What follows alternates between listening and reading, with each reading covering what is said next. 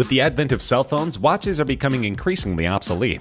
Most consumers are simplifying their accessories, and watches are often the first to go. But for some people, watches are more than just a means to tell time. They're a status symbol, more subtle than a sports car or a mansion, but no less expensive. Watches represent the confluence of engineering, craftsmanship, and enormous wealth. Today we are counting down the top 10 most expensive watches.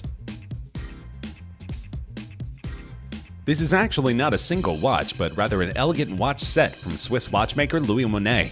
The set of four watches come together to make a full planetarium for the wearer's viewing pleasure. This set is meant for a serious astrological and horological connoisseur. But of course, the watches don't come cheap. They are valued at $4.6 million and were recently sold to an unnamed Chinese collector. Not only do the watches feature an intricate representation of the cosmos, they also have bits of the cosmos themselves. For instance, the Tourbillon Mars dial features a handcrafted fragment of the Jiddat al-Harasis 479 meteorite, an authentic piece of the planet Mars that fell to Earth. The Jiddat al-Harasis 479 is probably more than 180 million years old. Because of their rarity, Martian meteorites can sell for as much as US $10,000 per gram, almost 15 times the current price of gold. Other watches include bits of the moon and various celestial bodies that have fallen to Earth. Though its price tag limits potential buyers, this watch is a truly incredible creation.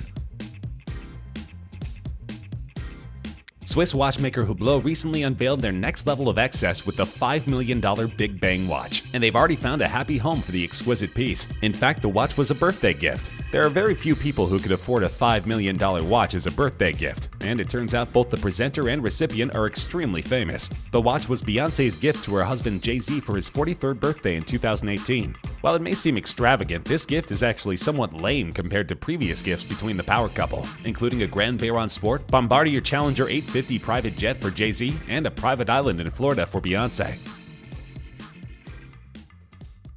A handful of times over the past century, the same watch brand has been able to claim rights to building the most complicated timepiece in the world. In September 2015, Vacheron Constantin unveiled the Reference 57260 pocket watch, which took a team of three master watchmakers as well as hand and dial specialists eight years to build. Estimated at $8 million, the Reference 57260, named for its 57 complications in Vacheron Constantin's 260th anniversary, was commissioned by a collector in the Americas who wishes to remain anonymous. He challenged Vacheron Constantin's Atelier Cabinotiers division to create the world's most complicated watch, with some specific functions, including a Hebraic perpetual calendar and an unusual split-seconds chronograph to time multiple events at once. Such technically advanced feats have never been incorporated into a watch before. Approximately 2 inches in diameter and crafted in an 18-karat white gold case that weighs about 2 pounds, the Vacheron watch nearly doubles the previous record for most complications in a timepiece, 33. Inside the gleaming hull reside more than 2,800 tiny mechanical components that make up the all-new movement, which took nearly two of the eight years spent to assemble. All told, the timepiece claimed 10 new patents. This is another exquisite watch with an even more interesting story. On its own, a 1518 is a special watch. It's the first serially produced perpetual calendar chronograph and started a family of watches that would go on to be one of the standard bearers for Patek Philippe for almost a century. The reference was introduced in 1941 and was produced for just 13 years, with approximately 281 total pieces being produced over that time. Most were made in yellow gold or pink gold, with four examples known to exist in steel. The first owner of the watch was King Farouk, the second to last dynastic monarch of Egypt and Sudan. After his passing, the watch was given to King Michael I, then the ruler of Romania. King Michael wore the timepiece for almost a full century until his death at 96. Then the watch was put up for auction where it fetched an impressive $11 million. Jacob & Co. surprised everyone at Baselworld in 2014, unveiling the world's most lavish and intentionally outrageous timepiece, covered in diamonds from head to bottom, and also featuring a tourbillon. The one-of-a-kind creation has been named the Jacob & Co. Billionaire Watch, and since it's valued at over $18 million, you'd probably have to be a billionaire to afford it. It was officially the world's most expensive timepiece when it was released, and it was designed by the brand's founder and CEO, Mr. Jacob Arabo, in collaboration with Flavio Briatore's billionaire fashion label, hence the name. This amazing watch actually celebrates the friendship between the jeweler and the famed Italian businessman and former F1 boss. Measuring 58 by 47.5 millimeters, this dazzling skeleton timepiece is rather large, featuring an 18-karat white gold case and bracelet, with 260 carats of emerald-cut diamonds covering virtually every inch of this watch. Apparently, every individual diamond weighs 3 carats, which means this watch will be pretty heavy as well. So who could afford such a mammoth investment? The answer is pro boxer Floyd Mayweather. After a series of highly compensated fights, Mayweather's worth is estimated between $700 million and $1 billion, meaning he fully qualifies for this billionaire timepiece. This watch is both stunning aesthetically and serves as an incredible feat of engineering. The Patek Philippe Henry Graves Super Complication is one of the most complicated mechanical pocket watches ever created. The 18 karat gold watch has 24 complications, or features that display something other than time. It was named after banker Henry Graves Jr., who commissioned it out of his desire to outdo the Grand Complication pocket watch of American automaker James Ward Packard. The two were both at the top of the watch collecting world, regularly commissioning innovative new timepieces. If you're curious what the watch can do other than tell time, the list is long, but it includes Westminster chimes, a perpetual calendar, sunrise and sunset times, and a celestial map of New York as seen from Graves' apartment on Fifth Avenue. In 2014, this watch set the world record for the most expensive watch ever sold at auction. The final price? $24 million, paid by an anonymous bidder through a proxy. The watch broke its own record, set in 1999, when it sold for a whopping $10 million. To put this in perspective, Henry Graves spent 60,000 Swiss francs when he commissioned it in 1925. Adjusting for inflation, the sum is roughly 202,000 US dollars. Chopard is known for making watches that are a cut above the rest. Not only does every timepiece in the company's collection boast superb quality, but each one has a highly unique design that sets it apart from other styles. This is especially true of the 201 carat Chopard watch, a dazzling accessory made in 2000 that brings a whole new meaning to luxury. The watch features three heart-shaped diamonds. The pink diamond weighs 15 carats, the blue weighs 12, and the white weighs 11. They are set in a bracelet encrusted with clusters of white pear-shaped diamonds arranged in flower motifs, with a yellow diamond standing up from the center of each. Total carat weight of the white and yellow diamonds is 163 carats, while the total carat weight of the watch is 201 carats. The watch has a spring-loaded mechanism, which when pressed allows the three heart shapes to mechanically open up, mimicking the petals of a flower. The watch face, pave set with small round yellow diamonds, is exposed from beneath the heart-shaped diamonds. The watch's price tag is $25 million.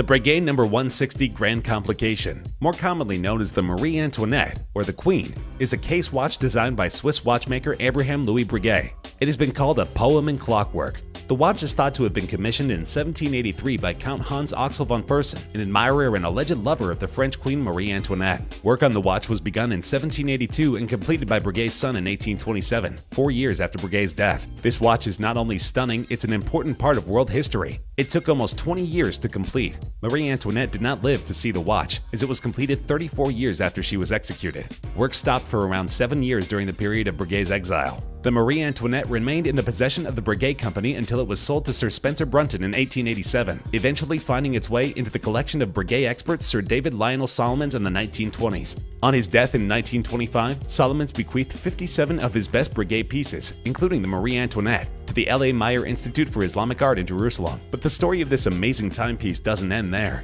It was stolen from the museum in 1983 by master thief Naaman Diller, but was recovered in 2007. The watch is currently valued at $30 million. A sibling piece to the world-famous hallucination, the fascination is almost equally as jaw-dropping, and with a price tag of more than $40 million, it's worth almost as much. The watch consists of 152.96 carats of white diamonds, with an exquisitely rare center stone that is a 38 carat flawless pear-shaped diamond, cut and polished by Graff in their workshops. It's this pear-shaped masterpiece that can be worn as a watch dial in a highly architectural diamond bracelet, or it can be taken out and worn as a ring. The bracelet that holds the watch in its center is a masterful work of metallurgy and gem setting. It's no easy feat to create a spectacular diamond bracelet that's also comfortable and convertible. According to Laurence Graff, founder and chairman of Graff Diamonds, the newest piece is meant to demonstrate the brand's close ties between its London-based diamond house and its Swiss watchmaking atelier. The Fascination is an outstanding piece, carefully crafted so it can be worn in a number of different ways, adding a touch of magic to the jewel, says Graff. The only question one really has to wrestle with here is whether to wear it as a watch or as a ring, a tough call with such a high price tag. As of yet, the watch still has not been sold. Graff and his associates are holding out for a patron with a lot of expendable income. In case you have a spare $40 million sitting around, inquiries can be made directly to Graff through his website. Graff is one of the most highly revered jewelers in the world. Founded in London in 1960 by Laurence Graff, the company prides itself on designing and constructing each piece of jewelry to exact specifications. By far their most expensive piece is their hallucination watch. It comes with an incredible price tag of $55 million. Encrusted with multicolored and rare diamonds, the hallucination contains 110 carats worth of diamonds, which have been painstakingly inserted, one by one, by master craftsmen to create this colorful and impressive masterpiece. Graff Luxury House has to be taken seriously after the introduction of this unique and beautiful handmade diamond-encrusted timepiece. The Graff hallucination was first presented at Baselworld, where the public had the chance of seeing it for the first time. Little did they realize that the hallucination was the most expensive item ever displayed at the exhibition. The design process is extremely intensive. Every unique timepiece begins its journey as a hand-drawn sketch, a vision realized on paper. This is followed by a gouache painting, a time-honored tradition that turns a design into a work of art. Typically, four or five gouache designs are presented to Laurence Graff, so that he may determine which one will be brought to life. It's rumored that Mr. Graff spent several years amassing the stones that were eventually used for the watch. Each stone was chosen individually. He described the hallucination as a sculptural masterpiece in celebration of colored diamonds. He further commented, For many years now, I've thought about creating a remarkable watch that illustrates our all-consuming passion for diamonds, he says. The hallucination watch has made my dream a reality. Mr. Graff was born and bred in London. He started out as an apprentice to a jeweler in Hatton Garden District. Being a mere apprentice did not last long. Very soon he was creating his own jewelry pieces. By the time he was 24, he had already opened two of his own jewelry stores in London. As he traveled the globe, his clientele grew, and so did the demand for more important jewelry pieces. Astoundingly, by the age of 30, he had set up one of the biggest jewelry manufacturing businesses in Britain. In 1973, he became the first jeweler to receive the Queen's Award for Industry and Export. He opened up his flagship store on Bond Street. Today, the company has 45 stores around the globe with corporate offices in London, New York, Geneva, Hong Kong, and Tokyo. To date, he considers the hallucination watch his greatest achievement.